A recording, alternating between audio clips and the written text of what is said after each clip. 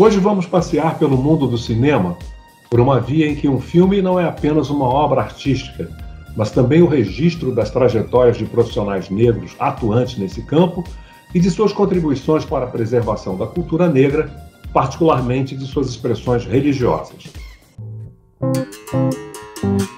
O cinema negro surge em Salvador e no Recôncavo desde o dia em que as imagens em movimento encontraram um negro, africano ou brasileiro.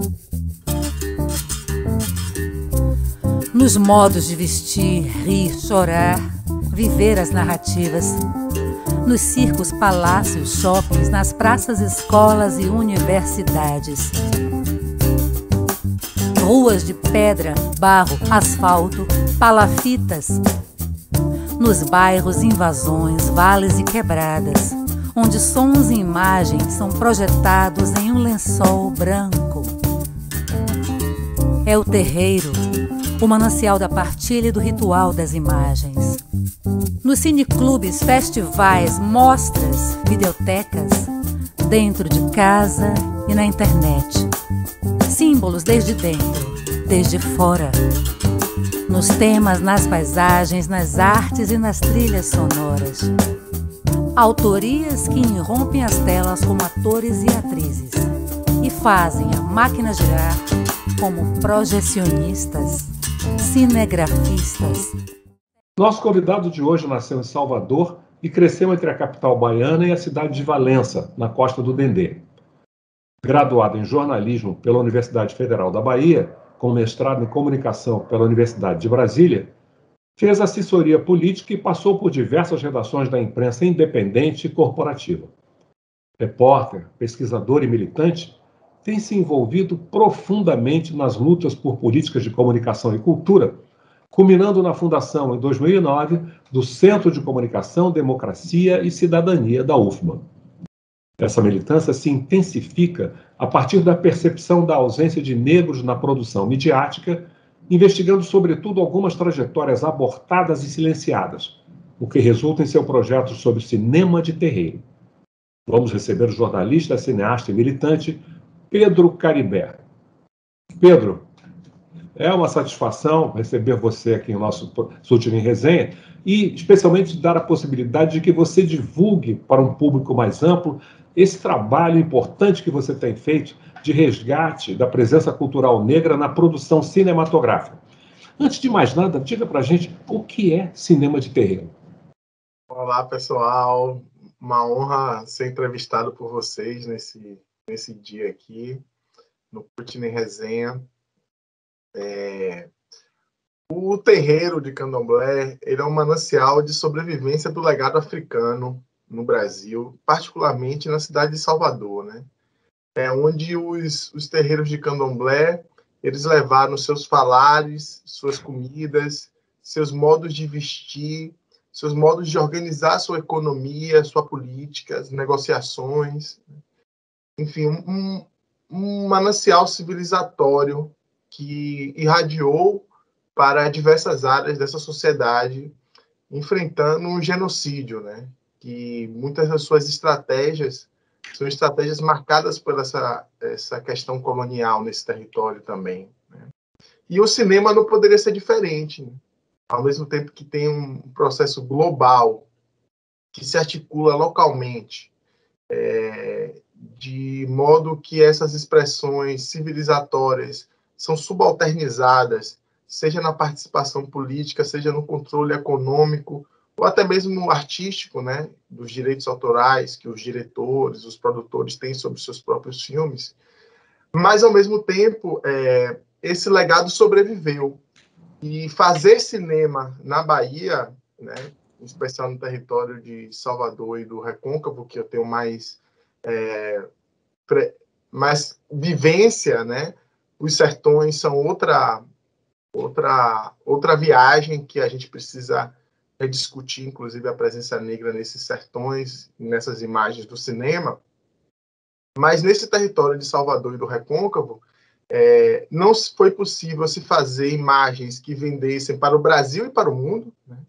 É, principal filme brasileiro, o maior prêmio do cinema brasileiro até hoje é a Palma de Ouro de Cannes e o Pagador de Promessas. Né? É, os principais cineastas, Glauber Rocha, muitos deles, Nelson Pereira dos Santos, vieram na, beber dessa fonte simbólica, porque sem essas imagens não é possível, inclusive, levar a sua o Brasil para o mundo, né? O Brasil da Zona Sul, o Brasil das telenovelas da Globo, historicamente, né? esse Brasil ele ele entra em muitos territórios, ele tem sua capilaridade também, mas no caso do cinema, o mundo só reconhece o Brasil quando ele vê um pedaço de África. Né? A questão é que esse pedaço foi subalternizado, né? não só com poder econômico né, é, e político sobre o fazer do cinema, mas subalternizado muitas vezes nas próprias imagens, né? o que alguns chamam de estereótipos ou caricaturas, ou até mesmo nos argumentos, nos roteiros, né, de forma mais grotesca. Toda baga essa bagagem civilizatória africana vinda dos terreiros ainda é tido como algo folclórico, como algo para vender, para um, um, um, gringo ter curiosidade, porque aqui mesmo eles não se convive com essas coisas, mas é bom se produzir imagens para dizer que tem essa proximidade e com isso é, ter algo a dizer sobre o seu território para outro lugar do mundo. Porque esse é o cinema de terreiro, né? É uma linguagem desse, desse território envolta por violências e por liberdades, por felicidade, pelo axé, né? O, dos terreiros de Candomblé. Agora, você iniciou a sua carreira acadêmica fazendo jornalismo da UFBA. O que o levou por esse caminho? Pois bem, eu queria fazer cinema e audiovisual mas quando eu fui fazer faculdade em 2001, eu fiz vestibular, só tinha no Rio e São Paulo, basicamente, né? E tinha um cenário baiano, sempre teve, de cinema. Eu tinha, inclusive, parentes que trabalham com cinema, né? E que eu, eu via que era uma possibilidade a faculdade de jornalismo. E aí eu fiz faculdade de comunicação da UFBA, né? Que era onde tive professores da área de cinema, maravilhosos colegas, né, contato com, com esse mundo, mas ao mesmo tempo eu não me identificava muito com esse mundo do cinema. É, eu fui me distanciando um pouco dele. Inclusive, eu conheci Luiz Orlando nesse período e não convivi muito com Luiz Orlando. Mas você é. trabalhou algum tempo como jornalista? Com jornalismo e fiz audiovisual também na faculdade. Fiz trabalhos de produção de vídeo, documentários também. Né? Fui para as redações. Como eu tenho uma veia política, incisiva e tal, investigativa também. Eu sou uma pessoa que gosta de pesquisar, de investigar. É, o jornalismo foi um horizonte em algum momento, né? Tinha um glamour também de ir para as redações, e, né? Eu comecei a ser encantado um pouco por esse fetiche do, do, do jornalismo. Mas, ao mesmo tempo, aquilo me traz influências, faz parte de mim, né? O Museu Digital tem um elemento jornalístico forte, um outro, um outro viés de jornalismo, né? Eu tenho um trabalho com mídia livre, mídia independente, né? Fiz um, um encontro baiano de mídia livre em 2016, que foi com gente do país inteiro, né? Norte, Nordeste, o Bahia 1798, né? Inspirado na Revolta dos Búzios. É, fiz muitos trabalhos de análise de discurso sobre violências midiáticas no jornalismo. Agora, o cinema foi uma possibilidade de me reencontrar com uma veia da arte também, né? O cinema como você está lidando com, com os sons, com as imagens, com a interpretação o tempo todo. Eu acho que isso traz para mim um, um, reencontro. Eu fiz teatro na infância, né? Com tias e primos que também trabalharam com o cinema. Perdão, era uma família de artistas já? Tenho, tenho, tenho. Na parte de minha mãe tenho essa, essa influência, assim, tenho, tenho sim. E e essas, essas, essas, essas coisas fizeram parte da minha vida, né? A arte. Eu fiz teatro na adolescência, fiz cinco, seis anos de teatro na adolescência, né? É, que era um grupo muito forte, muito intenso também, me deu uma bagagem artística. E quando eu fui para o jornalismo, eu fiquei um pouco distante da arte. Isso foi se distanciando, esse, esse oxúnico aí, essa coisa que a arte traz de, de de sensibilidade. Né? E, e, esse reencontro com o cinema, ele foi se dando nos últimos anos, né, por questões de ancestralidade muito forte, esses encontros, né, e um encontro comigo mesmo, né? Acho que é essa junção dessa linguagem da informação, do jornalismo, da pesquisa, com é, os discursos do cinema, né, com o encanto que o cinema causa, com a capacidade do cinema de agregar pessoas pelo, por uma história de amor, por, enfim, por tantas coisas que, que vão além do, assim, de um mundo didático do jornalismo. Agora, você passou a infância e a adolescência entre Salvador e Valença. Qual foi o impacto disso para a sua vida, o impacto dessas suas vivências?